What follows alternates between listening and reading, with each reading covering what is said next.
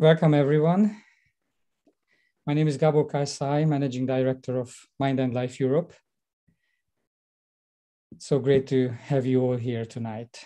This year, Mind and Life Europe is organizing a special anniversary series of events entitled Embodiment and Enaction, Varela and Friends 2030. It was 20 years ago when our dear friend, co-founder of Mind and Life, Francisco Varela, passed away. In June, we launched a new webinar series within the overall program entitled Francisco and Friends, an embodiment of relationship. In this specific series, Francisco's friends, colleagues, and dialogue partners share their personal experiences and insights working with Francisco and where their special relationship led them in their life and work. We started this series with two special minds, great friends of Francisco, the Dalai Lama on June 9th and the Evan Thompson on June 14th. In the fall, we continued this series with another, with uh, other great friends of Francisco and Amy, Jon Kabat-Zinn, Roshi Joan Halifax, and Antoine Lutz and Jean-Philippe Lachaux. You can find the recording of these former talks on our YouTube channel. Today, we have a really special friend of Amy here with us, Amy Cohen Varela, chairperson of the Mind and Life Europe board. Her theme tonight will be Mind and Life, Whence a Beautiful Idea. Amy will discuss the origins of Mind and Life, Francisco's vision, and how she and colleagues have experienced Francisco's work on cardinal themes such as embodiment enaction, neurophenomenology, etc. Amy is a clinical psychologist specialized in psychodynamic therapy and philosophy. She studied comparative literature at Brown and Columbia universities before moving to Paris in the early 80s, where she received her degree in clinical psychology at the University of Paris, with a specialty in psychodynamic theory and practice, and in parallel, completed psychoanalytic training.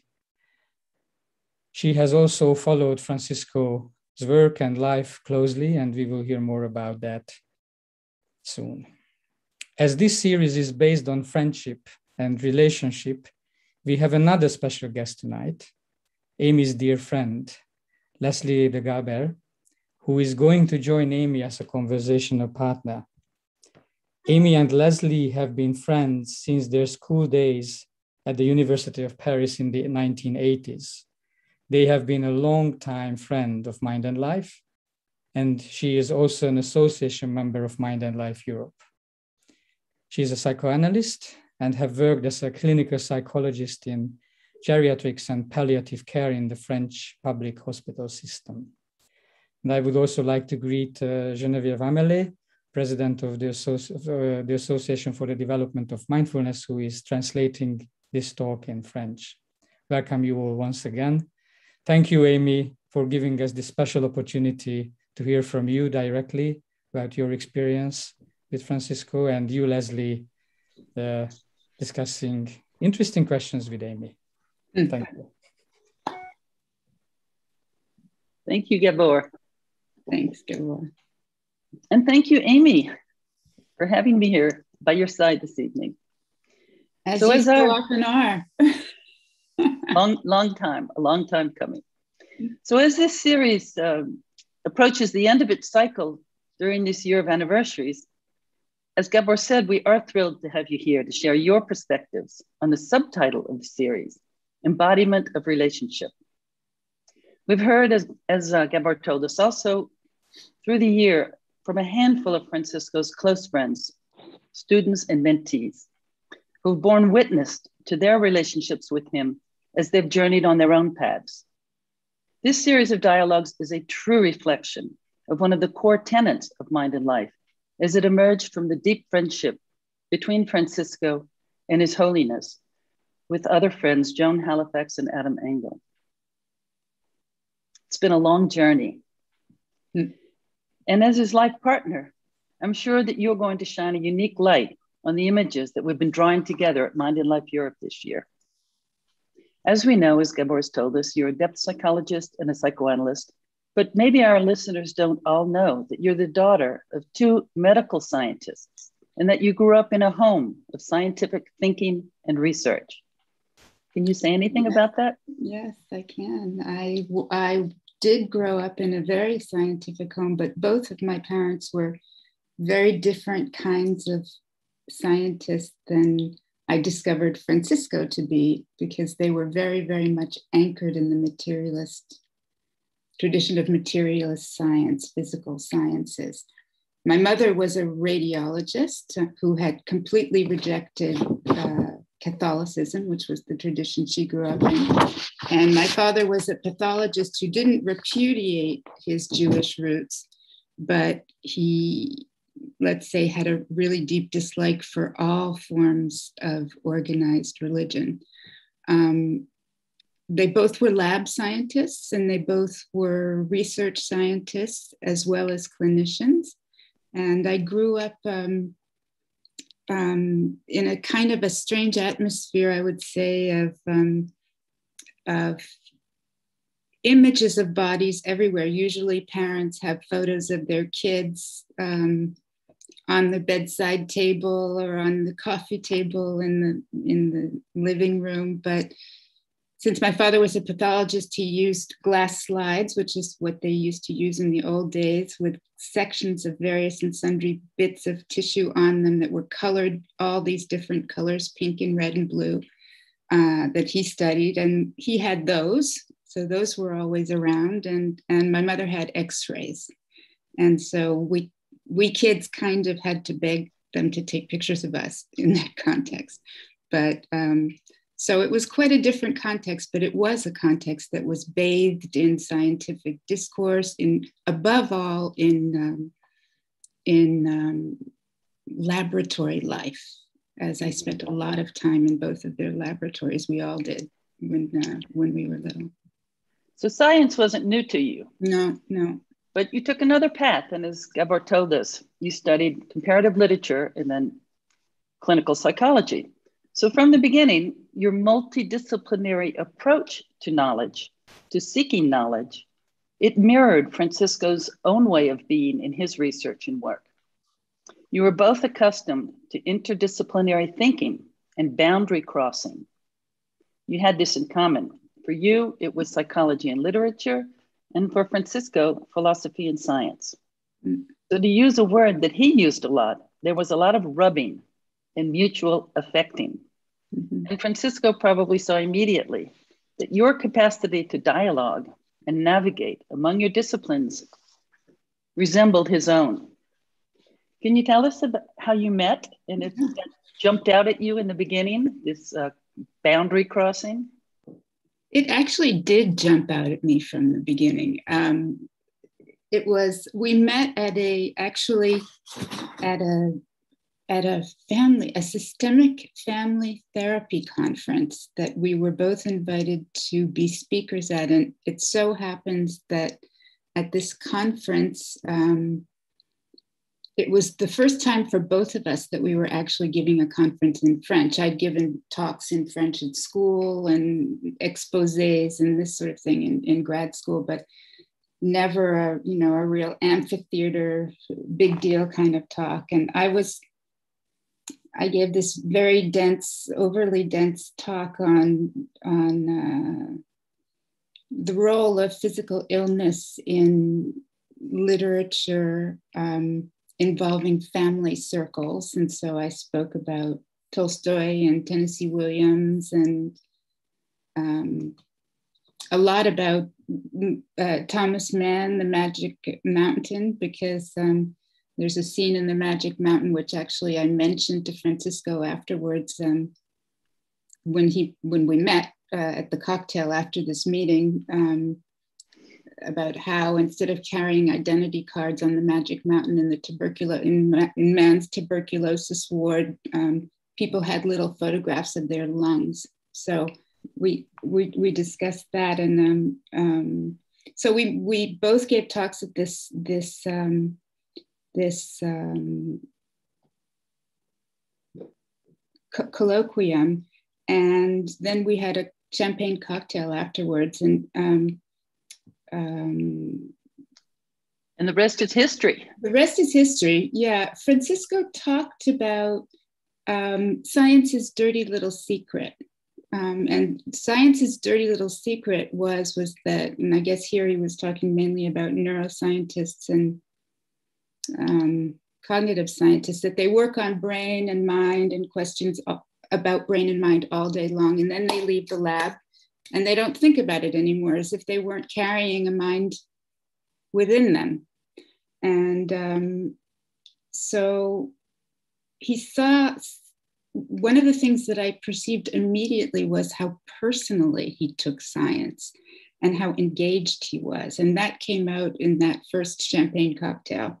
Um, uh, how anchored he saw what he was doing and what his mind was doing in the world, not separate from it. And I later learned that this was a basic tenet of his theory this non separation between mind and world that's so um, present in theories of enaction. Um, and also, I remember that night that he spoke a lot about scientific imagination, about scientific science being um, something that comes from imagination, um, which was not something I was used to hearing about growing up with scientists. And um, of course, this absolutely delighted me. So that was how it started. Scientific imagination, it's, it's, a, it's a term that we don't use anymore. I mean, people like the philosopher Bachelard use this term. Um, the notion of imagination seems to have gone out of science, but it's still very living in Francisco's science. And so um, that seduced me. So we can hear in what you're saying that immediately there was a collaboration among your disciplines. And, and all four of these disciplines were sort of woven together from the get go. Mm. And in the beginning, you wrote articles together. I mm. think they're psychoanalytic and they're, as you say, literary imagination. And you spoke to each other with these crossing the boundaries. So he was also very interested in your work as a psychoanalyst, which mm-hmm. is, as we know, a singularly first person process. Right. makes me think of neurophenomenology, but we'll get to that later. So, in an interview that he gave with Anne Harrington a few years later, I think it was in 1998, they're speaking of science and spirituality. And Anne mentions psychoanalysis. And she says to Francisco, I quote, psychoanalysis doesn't represent itself as a spiritual path. And Francisco, the scientist, responds, It depends on who you talk to. And he adds, You know, my wife is a psychoanalyst, and we have pillow talk about this. And they both laugh. But I wonder if you'd like to speak to the proximity between depth psychology. We'll come back to spirituality later because that's obviously very important. But the proximity between, excuse me, psychoanalysis and neurophenomenology, this first person process that both are in both of them, how, how you and Francisco understood each other so well in this regard. Well, I don't know, Leslie, how well we understood each other. We tried and did an awful lot of rubbing and, and, and talking, always talking. Um, but um, I mean, in terms of neurophenomenology and psychoanalysis, um, uh, you really have to look there centrally at the position that the first person takes in both of these domains. On the one hand, any kind of therapeutic, psychological, psychodynamic, um, particularly psychoanalytic or depth psychology approach, and um, neurophenomenology. And somewhere, I think, actually, I think it's in um, the text that he wrote on neurophenomenology itself that's called a methodological remedy for the hard problem. Um, Francisco writes something like experience, and he's talking about a subjective experience, um, is like a red thread. It's where we start from and it's where we end up. It's irreducible, is what he's saying, to any kind of objective measures. And this is the basis of psychodynamic therapy. Um, a world is constructed in the, I mean, you know it well because uh, because you you do it as well. But um, a world is constructed in this space that's kind of um, an entre deux, a middle space um, that we call the transference in our in our jargon, and um, and this is the space um, that's a world that emerges from the relationship between the therapist and the but this is the space that the analyst will sense into in order to um, feel into how to work with what the patient is putting up in terms of armor or defenses or this sort of thing. So, um, working with this space, and this really has to do with this primacy of first person um, in in the Varelian sense, I would say. Um, it doesn't it doesn't mean it means actually that the therapist um, has to um, stay away very carefully, keep away from applying theories. And this, I think, is one thing that differentiates psychodynamic therapy from a lot of other different types of therapies. Um, in the in the transferential context, you cannot apply a theory. In fact, we all know this. I think probably most analysts know this because we all unfortunately had to be beginners at some point. When you're listening to a patient and you hear you start to think, oh, theoretically, oh, I'm what she's saying is making me think of this chunk of theory or that hunk of, you know, developmental process thinking or whatever. Um, you stop listening when you're doing that. And so, in fact, what you learn to do as an analyst is to notice when you start theorizing and think of it as being a symptom of your own impossibility to look at what's being said and try to analyze what was unlistenable to in what was being said by the by the patient at that moment and so so that first person is just utterly central in in our world. And and and and what you describe what you describe is that you when you come back to the experience the experience you come back to the, the relationship of the and, relationship and of what's going on.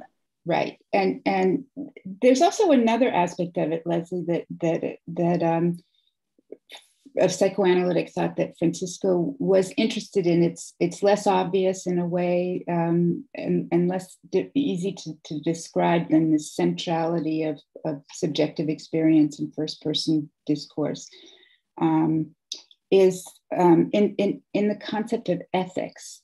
Um, so if you look at his book that's called um, Embodied Know How, Action, Wisdom, and Cognition, um, you'll see that he draws a distinction in this book between ethics and morality. And this distinction he draws between ethics and morality is actually quite similar to the one that um, Jacques Lacan, the French uh, analyst, and his followers draw um, between these two. So, ethical behavior, according to Francisco, ethical behavior um, doesn't arise from obedience, any kind of obedience to patterns or rules or any kind of ideal way of being in society. Um, in fact, this kind of ideal way of being in society for Francisco corresponds to morality as opposed to ethics. So for Francisco, ethical know how um, arises from realizing the emptiness of self or the impermanence of self or the impermanence of self as process, something like mm-hmm. that. Um, and if you put that in psychoanalytic terms, the psychoanalytic ethic is based in the experience of the divided self. So, in the notion that the self is divided and there is an unconscious that um, will show itself in some ways indirectly in our behavior and in our speech, but never directly. So, um, in some ways, you could say that they are similar as ethics in the sense that they're grounded in the constant questioning of the status of the knowing subject. Mm-hmm. Mm-hmm. Um, and and this there's no moral, objective moral ideal to be found in this framework. In a way, um, the, the best other metaphor I can come up to this come up with with this notion of questioning the status of the knowing subject is beginner's mind. Mm-hmm. Mm-hmm. there are definite bridges there, definite bridges there between yeah. the psychoanalytic thinking and the neurophenomenology project. Yeah. But if we circle back to what Anne and Francisco were talking about in the, um, the pillow talk, the pillow talk, no, no, no, in the interview, uh-huh. um, spirituality and science, because he says very clearly in that uh, interview, and he says spirituality, Buddhism just happens to be the way that spirituality spoke to me. And we know that for him, the relationship between spirituality and science was not just an idea, it was a life lived. It was a fully embodied life lived. Right. So I wonder if spirituality has many ways of speaking, and for him it was Buddhism, and it's in many different disciplines. Is there anything that you perceived in your in your childhood in the science of your parents that that speaks to spirituality? Maybe through literature you found it, but how did how did the two of you did it surprise you when you knew Francisco of how important that was in his life? Yeah, um, I don't know. I don't know if it surprised me. I mean, I think it was certainly a change from from the way that I was brought up and the way um, uh, the you're right that there are many different kinds of spirituality. And if I look back at how I was brought up and how I was, um, I see, for example, in these very, I painted a kind of a tough picture of my parents. I think they're, you know, these materialist scientists, but my mother was a musician. There you go. There would, you go. She There's would actually she, made her way back to church because she would take us when we were little, my brother and sister and I, um, to to church, but only when there were organists or musicians playing her favorite um, composers, who happened to be just about any um, Baroque composer, but particularly, you know, Bach. And her favorite actually was Handel.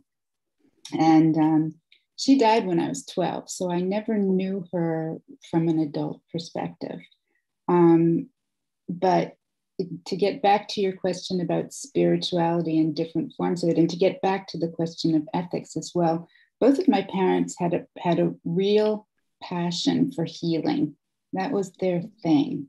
Um, for this this healing profession that they'd both chosen and, and really devoted themselves to. So um, and they were both very powerful scientists in the world, um, but they were people who were extremely quiet and humble and um, never wielded their power.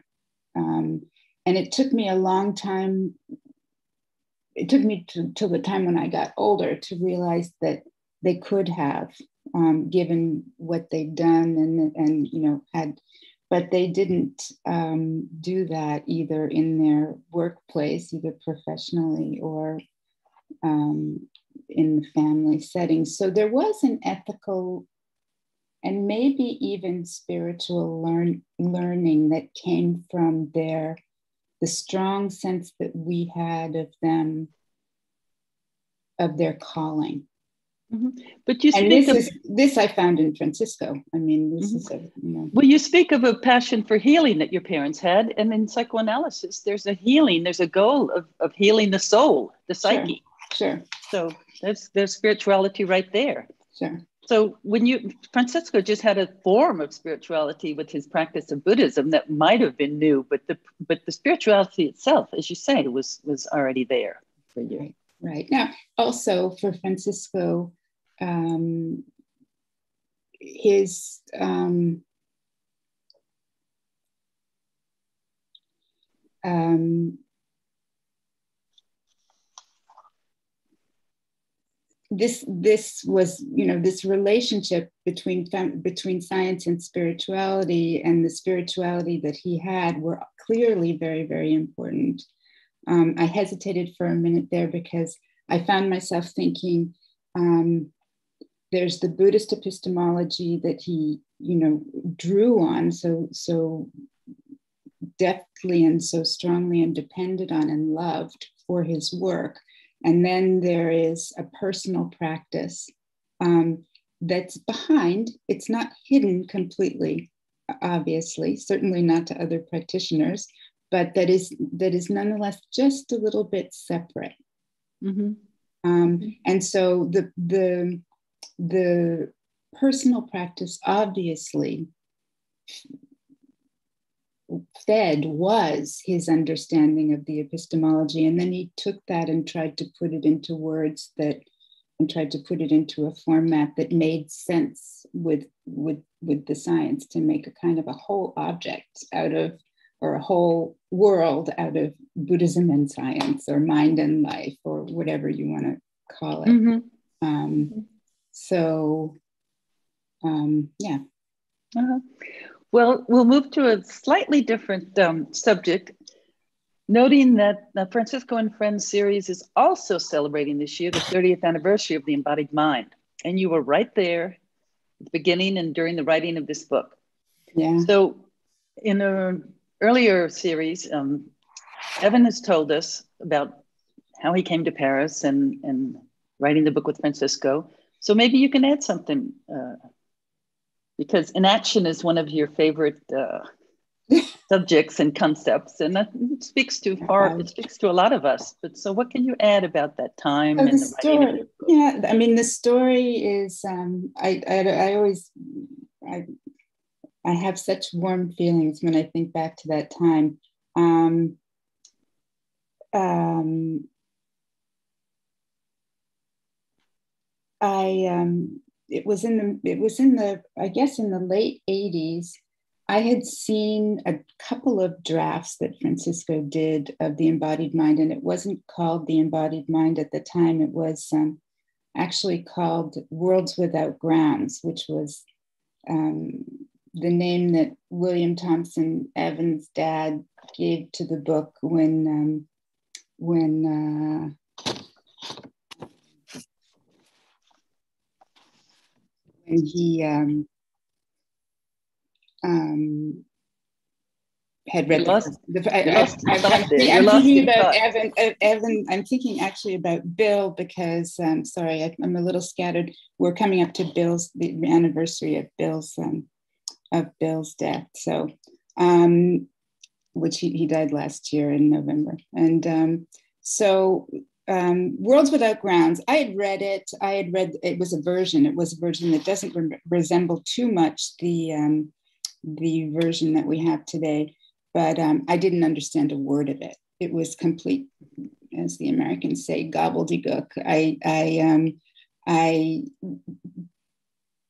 my my understanding of it, I would say, was even so limited that I had a hard time even knowing what questions to ask Francisco about it at that point. Um, now, I was working hard on my thesis in clinical psychology. I wasn't thinking about, you know, my mind wasn't necessarily as open as it could have been to these things, and um, and so Evan showed up in in the apartment in Paris where we lived, and we had this printout, you know, the old printouts with the little dots on the side, and you had to pull off the edge, you know, the, the of the, and um, and Francisco said, and I was completely taken. I was completely surprised. He said, "I have a meeting to go to, and I'll be back in two days." And so he left me and Evan to get to know each other, which was really a fantastic, um, uh, a fantastic thing for me and um, and then we went through it and evan as we all know and love evan actually explained a lot of it to me which was um, you know something that he knows how to do so well. He's such a great um, thinker and a great pedagogue. So i i kind of got it from that lion's mouth not the first lion's mouth but um, um and um, in terms of assimilating Francisco's work, this was progressive. Um, I think that um, given the, the, the, I'm not sure I'm still answering your question, but given I'm thinking about how long it took me to get it since I started out by talking about that. Um, from the very start, the role given to agency and once again imagination in this approach, the enactive approach, um, contra what I knew vaguely, which was the computationalist vision in cognitive science, um, it really made my eyes widen when I first started to understand what they were talking, Ev and Francisco were talking against. What was the theory that they were refusing and providing another option to replace? Um, and so um, it was it was um, totally liberating for me to read this um, and to s- slowly, gradually understand this. Um, this idea that the self is a process, um, the self is continually in a permanent kind of continuous kind of constitution in relationship to the world. Um, that this idea was coming in a scientific theory um, really did enchant the, the literary and psychoanalytic self mm-hmm. that I was at that time.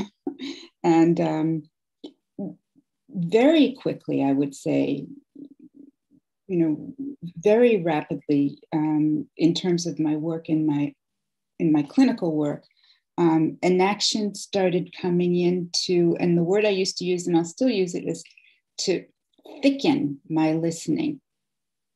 Um, mm-hmm. It didn't replace the way I was trained to listen, and which is always, of course, evolving, but it um, it gave me another way in to think about what was happening in this transferential space, um, which is easy to use words like transference, and, but it's very, very hard to find metaphors that really give you something about what what what it is and what goes on there and it's our only tool as analysts. So mm-hmm. um, we need all the, the ways we can get to to talk about it.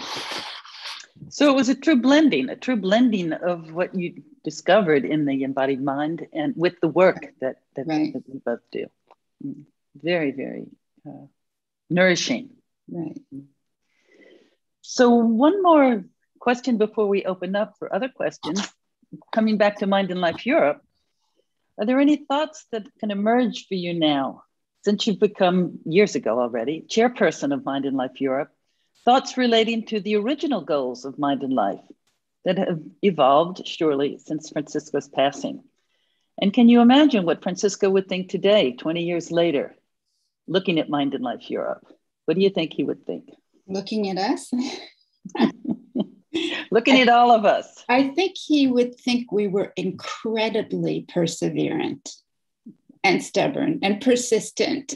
and and I think that, you know, I can't help but think that um, that he would have, um, have uh, you know, it's very, very hard to channel the dead Leslie as much as we try. Um, but I think that um, I do think that Francisco and I um, shared a kind of um, firmness of purpose, purposiveness, stubbornness, um, mule headedness. If he were here, he'd say that mule headedness. And I think that, you know, in terms of my work at Mind and Life Europe, I kind of feel um, open in the sense to all sorts of different things, but at the same time, um, a, a, big drive for us to do the kind of work that we've been doing in the way that we are slowly but surely learning to do it. Um, and um, so, in terms, such a huge question. Um, it is a huge question, but let me slip in here. Francisco was from South America and he was a European, and Mind and Life Europe has a specificity with its internationalness mm-hmm. that we have today. So he might, what do you think he might think about that? Because it was it's pretty American in the beginning, besides that he's not American. Yeah, I would say European. Um, I would say that it was pretty mixed in the beginning, and then it became a little bit more Europe uh, American uh, ML. Um, as the years went by. I think that um, that you know for Francisco, everybody who's listening probably knows the degree to which um, a kind of classical European scientific education that includes um, all sorts of other areas of study. I mean, he wasn't just science and philosophy, but science and philosophy and literature, a humanistic program, how important that was for him. And he had actually been schooled that way in Santiago de Chile um, at a mm-hmm. German school um, from the age of eight to the age of 18 and, and mm-hmm. past. So I think that what he would see um, um, perhaps as being a, a, a, positive thing in Mind and Life Europe is, is that we are doing the best we can to cultivate the phenomenological tradition, to cultivate um, a certain type of interdisciplinarity that corresponds to um, this kind of this kind of work that I just this kind of education or this kind of thinking about science that I that I um, that I just described. And so I think that um, that um, this this this would have been something that would was centrally important to him that we keep um, well he said it many many ways because for him the phenomenologic the importance of phenomenology sometimes it came to replace in some ways the, the buddhist epistemology and thinking and sometimes he described it um, and particularly when talking about the meetings the, the mind and life meetings with His Holiness, he said this, this, and it wasn't just phenomenology then, it was philosophy as a bridge. Um, in the early mind and life meetings, there were always philosophers who Francisco saw as the interprets, mm-hmm. who, who interpreted between His Holiness and the Buddhist epistemology and, and philosophy and psychology world and the scientific world. And it was a very specific kind of philosophical interpretation that he found was essential and that I think has, has been lost in the meetings. And I think it's really unfortunate. And I hope that we can continue to keep that. Um, I think we do. Center. I think, yeah. I think we do. We try to anyway. Yeah. Yeah.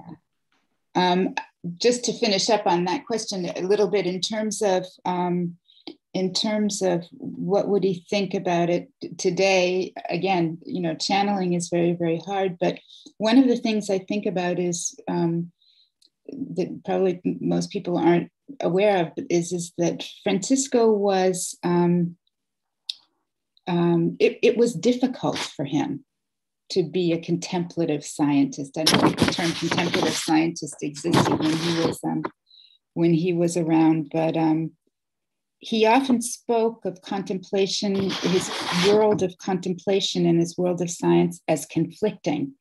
And um, I think, and, and obviously 20 years ago, 25, 30 years ago, um, this type of work was much less well accepted in the mainstream world of science than it is today. But students today still have this conflict. Um, we have a group at Mind and Life Europe called the Young Researchers, where we spend a, a good amount of time, um, or they spend a good amount of time thinking, researching, talking, and getting together about ways to make um, the contemplative life work as a contemplative science in a world that's scientifically frenetic and very dog eat dog and, and this sort of thing. And um, I think he would have absolutely related to that effort um, that these young scientists are making. Um, it was a different kind of conflict. It was, you know, I can't go on retreat. I can't do this. I can't do that. I have to stay in the lab, or I want to work with, I want to work on Antoine's doctorate, but I also want to do, you know, generally it was retreat. So, um, but I think that that that is a, you know, that is something that I think might be interesting for people to know about him is, is that it wasn't easy it wasn't easy to put these two things together in his life, and it had to be w- worked on um, all the time. And um, and so he thought that just up there, he thought that um, that um, I doubt that he would have imagined that this area would have accumulated as many people as it has over the past um, 20 years. And, and, um, and you know, he, he, he said it publicly in one of Franz's films that Franz Reichle's films um, that he thought that the process would be very slow and it would take place over generations. Um, I still think that that's true. Probably the transformation of science um, will take place over generations, but that was his um, that was his prediction um, about that. So was a little bit of a mixed bag of an answer there for you, dear. But I'll end it there. Well, maybe unless you want to add something more, because I'm sure people have a lot of questions, uh, comments. Um, is there anything else you want to say before we turn back to Gabor? I'm uh, I'm great. You're ready. You're ready. okay, Gabor. I feel like I've talked a lot. well, you've begun. You've begun, and you're not finished. So I'm going to mute myself, and Gabor, can you take over? Thank you so much, Leslie. Thank you so much for this uh, wonderful dialogue and for the really deep and interesting uh, questions. Uh, as I wrote in the chat, we are now opening up the discussion uh, for your questions as well, and some has uh, arrived already. Um, I would like to ask you, Catherine, uh, Catherine Bastian Ventura, to start with your question and raise your question to Amy, maybe yourself, instead of me reading it first, and then we will move to questions. Thank you. Okay, uh, thank you, Amy, for sharing um, all this uh, all this life, I would say, and all these experiences. Yes, my question was um, beyond the fact that your practice has uh, evaluated or was changed or thickened. You said uh, by knowing enaction and um, developing this discussion with uh, Francisco, uh, have you had the, the possibility or the opportunity to discuss that with other psychoanalysts? I'm not speaking about Leslie, of course, but some others or some institutions, because I think it's uh, the way you were speaking about it uh, really brought something quite different and quite new so I was just wondering if this uh, was something you could discuss with some institution about uh, psychoanalysis. Yeah, thanks, Catherine. Thank you. Um, actually, that brings up a that brings up a, a Francisco, you know, involved event was was that um, right before he died, in fact, um, we we were invited to um, speak together at a at a very big psychoanalytic conference. It was in um, July of 2000.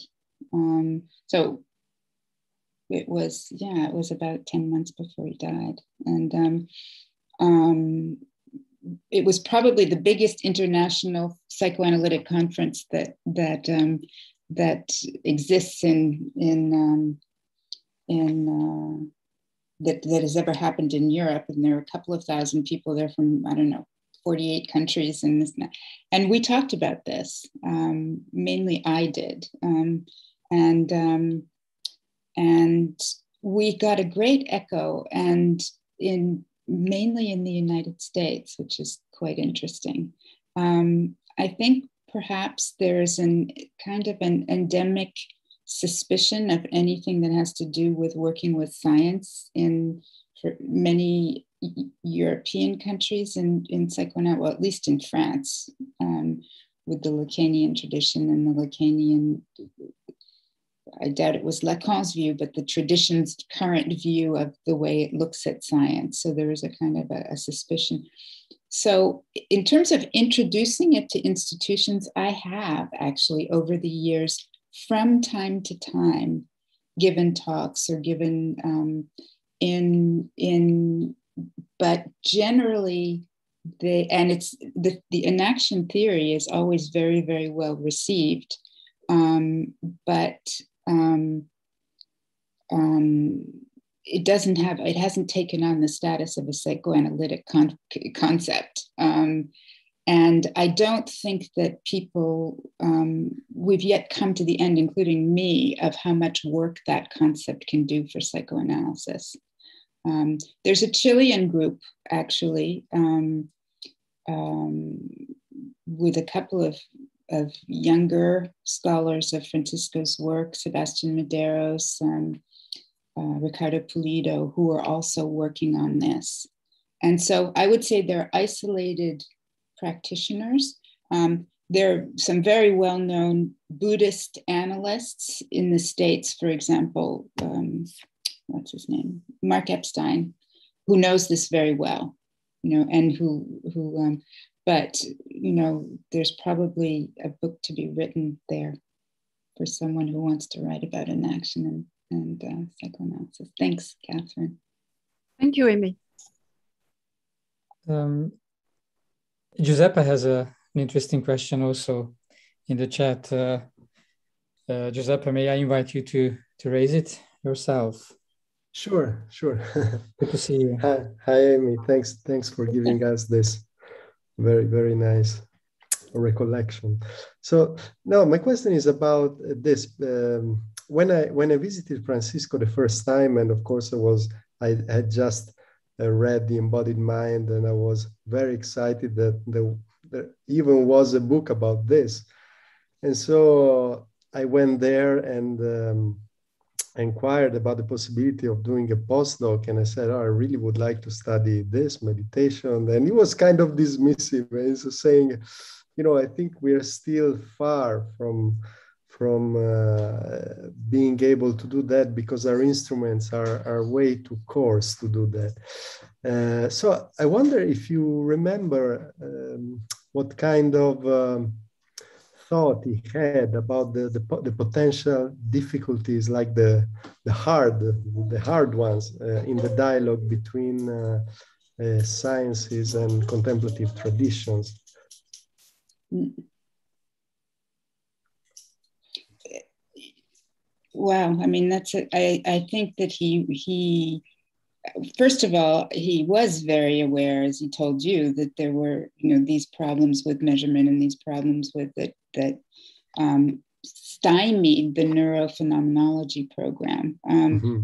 Then you know things have changed a lot. I mean he died in two thousand and one. Um, things have changed a lot since, but I don't think the difficulties for neurophenomenology have neurophenomenology have changed um, have changed so much. Um, so your question is, what did he? Um, what did what what did he think? Other, what did he see as the major stumbling blocks in uh, you know in this in this path? Um,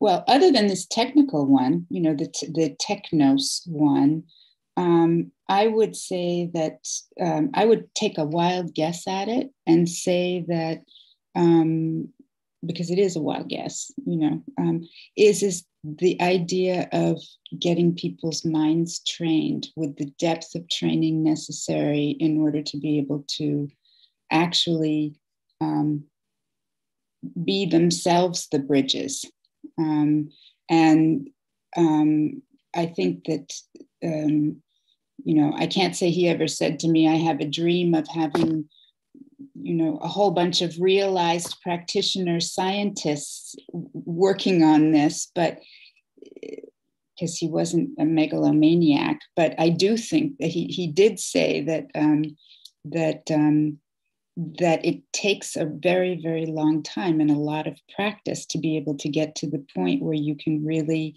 um, um, be the bridge. Um, you know, have in your mind enough of both sides to be able to. I'm talking about science and I'm talking about experience of practice um, to be able to um, have a kind of a mobility of mind about what these projects are in order to come up with novel ways of working between the two. So, if I would, so maybe the counterpart to the technological blockage is kind of an internal technical blockage, which is the question of getting people to practice. Um, and you know, in, and in this case, I don't think it, he meant exclusively um, Buddhist practice. I think that you know there were there were many options opened, but it had to do with um, getting enough people who had the determination, because it really takes. I mean, there's a lot of practitioners here uh, of different types. Um, everybody knows how much determination it takes and how much patience and how much perseverance it takes to practice. And so that's what I'm taking a wild guess would say would be the other problem, which is a pretty big one too. I hope Thank that you. answered your question. Thank you. Actually, there are two two similar questions. Uh, one is raised by uh, Kevin Martin, and another one is by Annie Block, related to the technologization of uh, mindfulness studies and the the the brain uh, studies or brain sciences. So I may ask uh, Kevin mm-hmm. to raise your question. It's a short one actually in the chat, and also Annie Annie Block uh, in a consecutive order, so that we discuss this uh, domain of uh, thinking together. Oh, hi, Amy. Um, just thanks very much. I, I can't do my video because I'm on a very kind of limited bandwidth. But just um, the issue of, of technologization and, and what you just said is very interesting because um, the practice is, is clearly the business, I think, in the end. And it, the concern is really whether in the last 20 years, the kind of techno logization um, with scanners and, and sophisticated EEG and so on has um, put the emphasis too much on the brain and not enough on the n- nature of the embodiment, um, of course, of which brain is part. And I just wonder what you think about that. Yeah, well, I, I think in a way, yes. Um, but you do have to remember that for Francisco, for Francisco, the brain was there too. I mean, it was really, you know, when we talk about neurophenomenology, we talk about mutual constraints. When we talk about experience in first person and third person, we talk about them as mutually constraining each other. So you do need the you do need the the the brain part too. I think, but what what you're um, is the technologization, I think is your word, technologization of, of, uh, of mindfulness studies, keeping us from keeping mindfulness in a, in an epistemological area that's not the area of enaction. I think that's sort of part of your. I think I think that's a good a good interpretation. Yeah. Yeah. Um, yeah I think so. I, I think so. And and along with this um, is the you know the exercise of um, you know um, scanning practitioners' brains to see if the brain changes after a certain amount of practice. I mean, this this sort of really what the French would call first degree looking at um, looking at what happens to a, what happens to a brain under practice. That was so far from the point um, of Francisco in the beginning. Um, there are people who are coming in in cognitive science, and and uh, I'm learning a lot about what's um, what's going on with that. Um, in Ouroboros, in our series Ouroboros, and also, you know, for many years I've been following this, who are kind of counteracting in a way with with an area. I don't know if you've heard of it kevin but it's called um, or anybody um, they took up francisco's notion of sense making as it comes from enaction. So enaction is being you know an organism or a system in relationship with the world and this meeting up between the, the system and the world pr- producing sense meaning. Um, and they call it they call they're cognitive scientists and they're people like Ezequiel Di Paolo, Hanne De Jaegher, Philosophically, Evan Thompson's very interested in their work from a, uh, Hannah's a philosopher as well. Um, and um, and they call it participatory sense making, which is really focused um, and uses some technology, but that's really focused with a fine, a fine-grained vision of what happens between a self and a world, or between two selves together, um, when meaning emerges. And so there are counter uh, ideas and counter types of experimentation that are popping up and that and participatory sense making has not popped up. There's a huge literature about it um, if you're ever interested. I am. Thank you very much. And uh, Annie, you may want to add something to this question because you Hi, asked Annie. a very similar question. Can you unmute yourself first? Thank you. Please. My concern is not with technology, but with the uh, concentration on the brain. Yeah. That for me is the issue. And uh, where did the embodiment go? Of course, you can measure, fine, and you can have uh, uh, funds uh, and publication and all that. But is that really science? And um, for me, from what I see, uh, the work on embodiment is based right now, the developments in theory and practice are on the autonomous nervous system, the polyvagal theory. And myself, I'm learning about that, but also there are practices coming with that.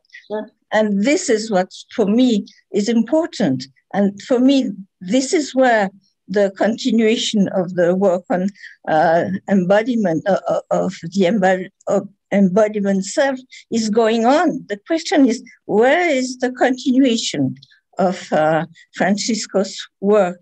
I think, uh, you know, uh, it, it goes on, but not necessarily where, where the, the spotlights are.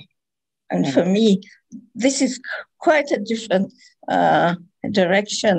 And I'm really, and then it fits with uh, Buddhist theory. But Buddhism, not as a science of mind. That's not right. Body, speech, and mind. Buddhism is a science of body, speech, and mind, despite of what uh, His Holiness says.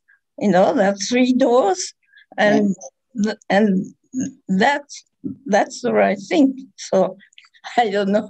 I, I beg to disagree with His Holiness. That's it. Thank you, Annie. I, I, mean, I think there's a debate around whether we want to talk about Buddhist science or not. I think uh, Evan Thompson also begs to disagree with His Holiness in his uh, why I am not a Buddhist, and and um, and you know, it's an, it is an interest. It's an important debate. Um, yeah. Um, enaction, so where is Francisco's work being carried through? Lots of people who are creative taking it in their own direction in ways that, you know, Francisco might or might not have ever foreseen, but really interesting, amazing people doing work in enaction in philosophy and in um, in uh, in cognitive science. And so the I mean the enactive approach has been um, uh, this would be you'd need a whole you know thing to seminar to talk about this but and we'd need evan by our sides but um, the enactive approach has also been modified by a lot of people and arguably this is evan's one of evan's thoughts is, is that it, they modify it because it's too challenging to take it whole as it is um, so yeah there are a lot of there are a lot of things to say, but I fundamentally agree with you. So, cheers to you. Thank you. Thanks. Actually, if I may follow up uh, on this uh, debate uh, with His Holiness, um, or the title of today's uh, session was uh, and is uh, "Mind and Life: Whence a Beautiful Idea," and I would be interested in in combining this question, "Whence a beautiful idea?" How it arose how it uh, came into being in Francisco's mind with a question that was raised by uh, Norman uh, Steinberg. If uh, I invite you, Norman, to, to raise your question together with mine. Do you hear us, Norman? Is he here? Yes, there he is. Hi, Norman. Good evening from Dharamsala. so my question, Amy, really was how much was Francisco's intellectual thought and his overall evolution and development a function of their personal relationship? And how, I, how much influence did His Holiness have directly on Francisco. Yeah, the, yeah. Um, that's that seems like a simple question, Norman, but it's only seems. It's a it's a complex question, as is uh, as is Gabor's. I mean, it's it's um, I mean, I don't know whether people know the story of the beginning of Mind and Life or, or not, but it was um, Francisco was already a practitioner. Um, and I think it was in 1983 that he was invited to a science meeting in Alpbach, Austria, with a group of scientists and spiritual um, practitioners and leaders, um, include a small group. I think there were eight people or 10 people there max. And um, among them, there was Francisco and uh, David Bohm, the physicist, and, and, um, and there was also David Steindl Rast and um, the Dalai Lama. And the Dalai Lama had not yet um, received her, her, his Nobel Prize. So it was much much easier to get some time with him at that uh, during those years and um, they met and so they met in this meeting and they the first day they had lunch next to each other and apparently it was it was love at first sight. I mean it was it was a complete you know kind of uh, you know that expression they only had eyes for each other. Um, and um, so after that the dalai lama came to paris and asked to meet Francisco in Paris just to keep going, to keep the conversation going. And um, and um, he came back once or twice, maybe even three times. And the third time, there's a funny story that gets told. Um, you know, I don't know. It's been told in many places where um, he went to the Salpêtrière Hospital in Paris to see Francisco, and he had um he had a he had a conference to give or a talk to give or an appearance to make at the Assemblée Nationale, which is the French parliament. And um, they started talking in Francisco's lab, and his bodyguards were outside. And I think this was in 85, maybe 84, 85. And, um, um, and they were going at the conversation with such pleasure together that um, the bodyguards had to come and pull the Dalai Lama out of Francisco's office by his robes so that um, so that he'd make it on time to the Assemblée Générale, where you know 500 people were waiting to listen to him, and so that was when the Dalai Lama actually asked Francisco to to um, if he would come up to Dharamsala uh, uh, uh, and teach him science, and so Francisco, of course, immediately said yes, um, and then he thought about it and wrote back and said. Um, um I'll come up, but I'll bring some friends because he didn't really feel like he wanted to be the only tutor. And that was how the first um, the first meeting got set up. So to answer, to to at least if not answer, respond in some way to um, to um, Norman's question and, and Gabor's, this friendship, you know, and, and this, you could bring this back to enaction if you want. Enaction is about relationship, and friendship is a particular kind of relationship, right? And it's it's got something more to it than just relationship in a neutral kind of sense of, you know, some kind of bond between people. And it's absolutely clear that um, this friendship um, um, created a terrain of confidence, the one for the other, in daring to move into this meeting and move into these into this um, conversation that was potentially had some dangerous places for both sides you know and i think you need to have a lot of confidence to, to get to get involved in that or at least at the time you did. It was really new. And um, and so in terms of norman's question also you know it would be just redundant and absurd to say that francisco was you know in in, in awe of the dalai lama's being as a practitioner. Um, but there was also something, and this will remain ineffable forever. If you look at photos of them, you can see that they loved each other. And that really counts when you're working with someone. Thank you, Amy. It seems uh, this uh, special love between them uh, also transpired in Francisco's relationship with his students. Uh, the way uh, Antoine and uh, Jean Philippe described their relationship to Francisco and expressed their fond, their love towards Francisco and Francisco's love towards them it was another expression. And I see a question from Bruce uh, trying to elaborate uh, uh, another relationship in Francisco's life when he was a student to, to Maturana. So, Bruce, may I invite you to ask about another great mind and hero in Francisco's life journey, Umberto? How, how, how you would like to address this relationship with a question from Amy? Um, thank you. Um, thank you, Amy, for your presentation. Um, it's uh, extraordinary. Um, uh, thank you so much. Um, yeah, this is about relationships, and I'm interested, and you may not be able to answer this, I, I don't know, about uh, whether he ever discussed his relationship with uh, Umberto uh, Maturana uh, in, in the 60s uh, when he was a student.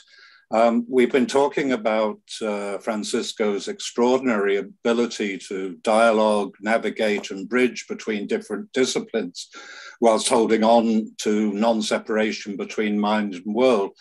And, and, and clearly, uh, this extraordinary ability to communicate was something that he and Maturana wrote about in The Tree of Knowledge as a, uh, uh which essentially is a coherent formulation of the foundations of communication as the biological being of man. Uh, and this was the foundation for his work. But I just wonder, going back a little earlier, did he um, did he ever discuss his relationship with uh, uh, Maturana during that period of the mid 60s when he was his student, and whether the fact that Maturana was developing cognitive linguistics during this period uh, influenced uh, Francesco's uh, subsequent uh, extraordinary ability to communicate uh, between disciplines. Mm. Um, I wish I could. I, I, wish I could answer specifically concerning the cognitive linguistic linguistics material. Um, I can't he did speak about and wrote a little bit about. I don't know if you know the article that he wrote. Um, it's kind of an autobiographical article about his work. Um, uh, Francisco, he he he, you know, obviously Maturana plays a great part in that. Um, just a shot in the dark, Bruce. I think that I cannot imagine that given Francisco's mind that this cognitive linguistics work did not affect him. Yeah, yeah. He was a sponge. He, you know, and your question also brings up this quest, this idea of the that I've thought about for a longer, you know, I've thought about it in a, you know, thinking about Francisco's work and um, um, for a long time, but he he was always in dialogue. If you think about his work, there was Maturana, and then there was, a, I mean, Maturana was, of course, the first master and mentor. But then there was a host of others. And so he, you know, without being too flippant, I could say he was really an enactive thinker before enaction existed. He was someone who always worked in dialogue. Um, and um, sponging off and being sponged off to, to, to twist the, that term a little bit. Um, and so I, I couldn't imagine not that, that that would not be the case. Um, it's not a very helpful helpful answer to you know to I mean you know I I think if you look at articles like the 1991 article on the organism, a meshwork of selfless selves, and others, you'll see him drawing his notion of autonomous systems um, um, as creating fleeting patterns that can be isolated as being selves, but they're impermanent, et cetera. You know, that whole theme that's very pregnant in his work. Um, he draws it up to the linguistic body. Um, and he so this is not quite a, a, direct answer but in terms of in terms of um, um, and in fact, this question of linguistic bodies, you probably know Ezequiel Di Paolo and Hanne De Jaegher and Elena Cuffari have a book called Linguistic Bodies that's that really draws it out. Yeah, I, I know, I've read it. yeah. But anyway, to, to get back to this question of dialogue, I think that, that Francisco's dialogism um, predates um, and um, he was not somewhat predates meeting Maturana. If he met Maturana, it was because he went to Maturana. I have no doubt that Maturana's thoughts about linguistics affected his thinking, but in terms of affecting his character, you know, um, I think that he he really was someone who, um, and I think most people who who worked with him would agree. Um, I might be getting some mail after this, but um, that he he um, he was always looking for writing partners and thinking partners.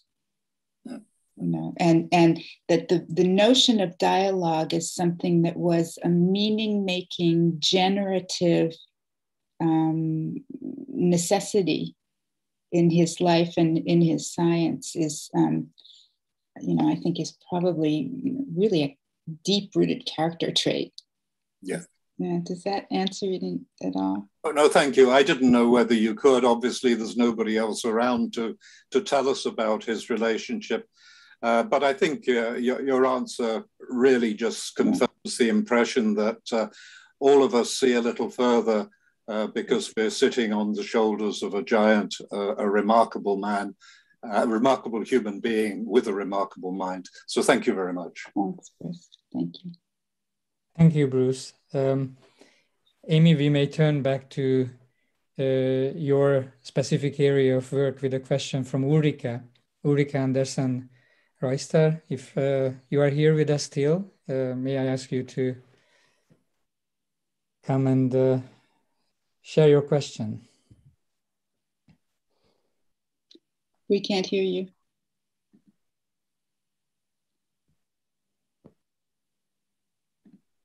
Can you hear me now? Yes, yes. Yes, we can hear you now. Yeah, thank you. Um, Amy, I'm a psychoanalyst from Germany and a Buddhist practice, practitioner and also head of a psychiatric and psychosomatic hospital in Dresden.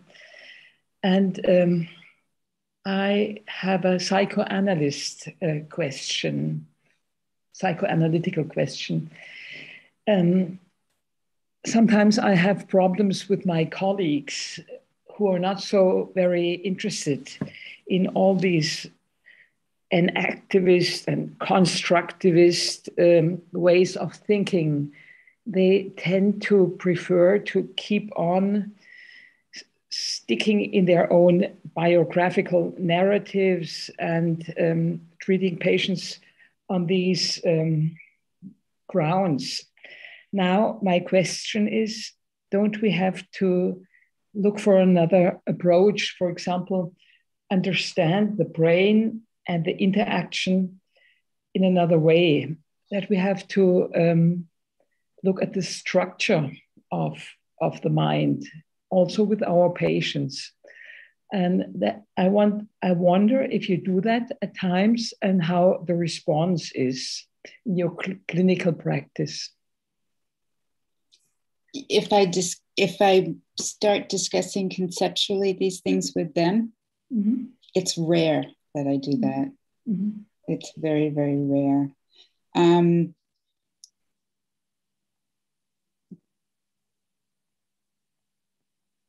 but oh, it's, it's such a huge question. Um, we should have a conversation. I'd love to. Yeah, yeah. But um, yeah. um, uh, how can I answer that? I, I mean, I agree with you that it's very, very hard to bring to bring people out of their kind of structured way of looking at their practice and mm-hmm. using their theoretical tools and and um, um, um, you said structure of the mind where I, I, it would really take me a long time to answer this properly mm-hmm. for you so maybe we can have a conversation in email. But i, I think that um, there is rather than think about structure of mind you could think about modalities of intersubjectivity yes, yes that's true. That's true um, yeah and mm. that would make make it perhaps easier to come to some mm-hmm. formulations that could really function as interpretations i'm i'm um, in contact with mark epstein and um, and with other colleagues too buddhist practitioners and i have the impression that there's a dialogue maybe in france too definitely in the states but mm-hmm. not in germany and somehow i'm I'm keen to change a little bit the things. Maybe if you allow, maybe I'll write you an email. Yeah, yeah. that'd be yeah. great. Yeah, because it t- it takes careful conversation, which is hard to do when you're. That's true. Thank you. Thank you very much uh, for the question, Ulrike. And uh, Amy, we are uh, close uh, to the end of the webinar, but uh, may I ask uh, one question that we also raised when we had a meeting a discussion with uh, Antoine and Jean-Philippe a few weeks ago. If you look back uh, how Francisco lived and worked and what you have described so far, what would you highlight as the most uh, extraordinary personality trait in uh, Francisco that uh, made his life and work so unique and special for you? I have to choose one. you can you can tell more. Uh, they were telling us more as well. uh, I wish I could remember what they. no, no. I think um, I think uh, it's not easy to find um, a single word, but um,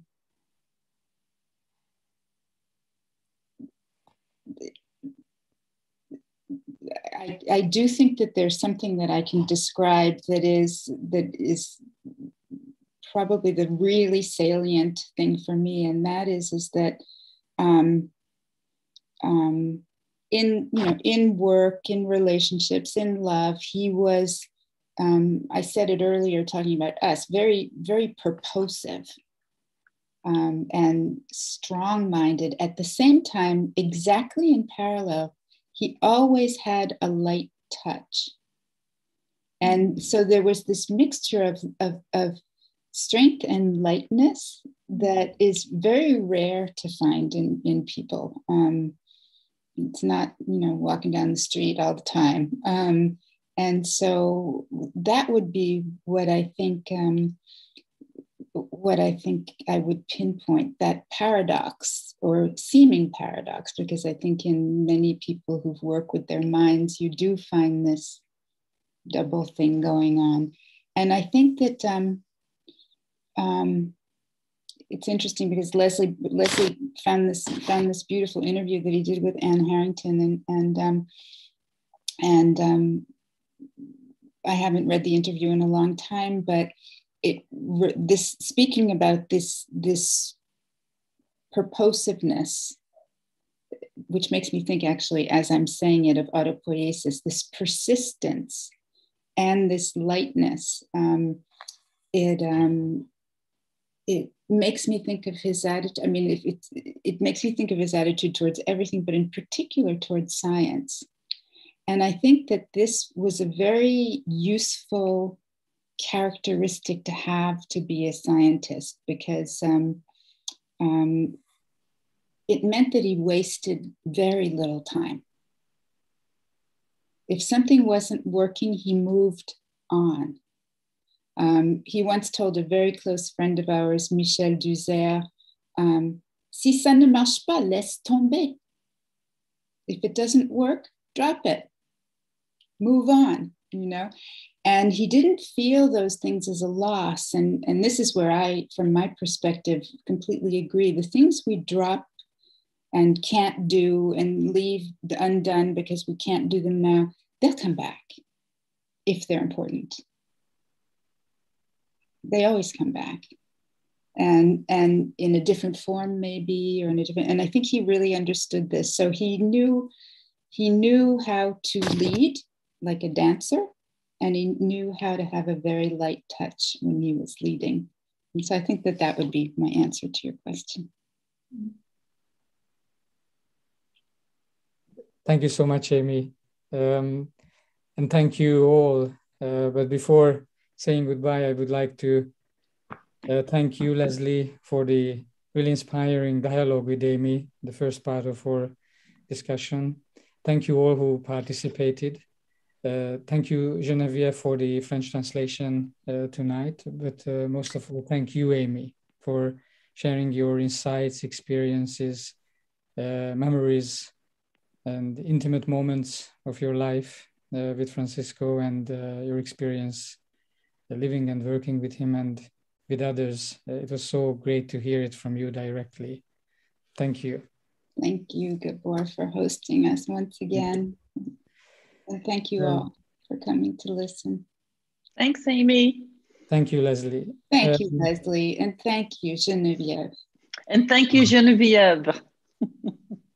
Uh, before uh, saying a final goodbye, uh, I would just like to announce our next uh, discussion webinar in this particular series, Francisco and Friends. Another friend of Francisco, colleague, uh, partner, discussion partner, Wolf Singer, is going to talk next on November 25th about the theme, why would a neurobiologist become interested in Buddhist philosophy?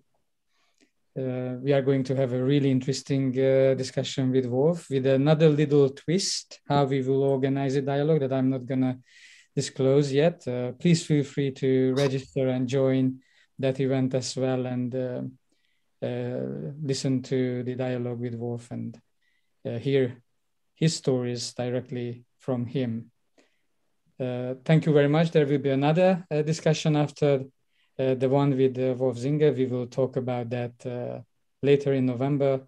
Another event in December is still upcoming. So the series is not ending here. Thank you. Thank you all. Thank you, Amy, once again. Thank you, Leslie.